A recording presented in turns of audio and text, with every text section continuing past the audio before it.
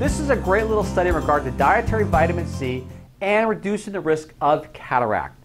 Basically, what we have here is they took twins and they followed them for about a 10 year period of time. Now, the cool part about that is it took into account genetic and environmental factors. So we had a nice clean study.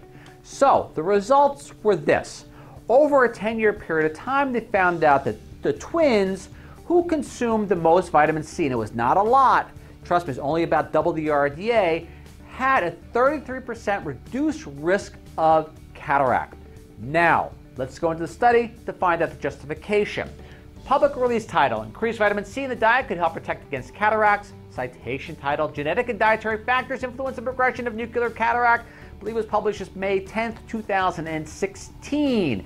And to reiterate the first part we went through, 10 years later, researchers followed up with 324 of the twin pairs and found those who had originally reported eating more vitamin C in their diet, again, very few of them were on supplements, this is primarily vitamin C from the diet, were now at a 33% lower risk of developing cataracts compared to those who had eaten less vitamin C. By the way, also, they had clearer lenses on top of that.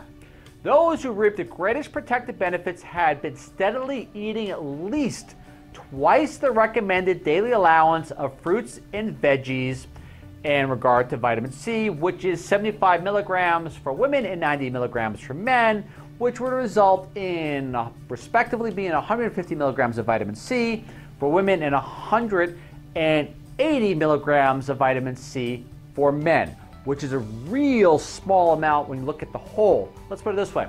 The average American in the United States today consumes about 0.42 pounds of sugar per day, which is milligram wise 190,509 milligrams daily of sugar consumption compared to 180 milligrams, 150 milligrams of vitamin C. You get the point.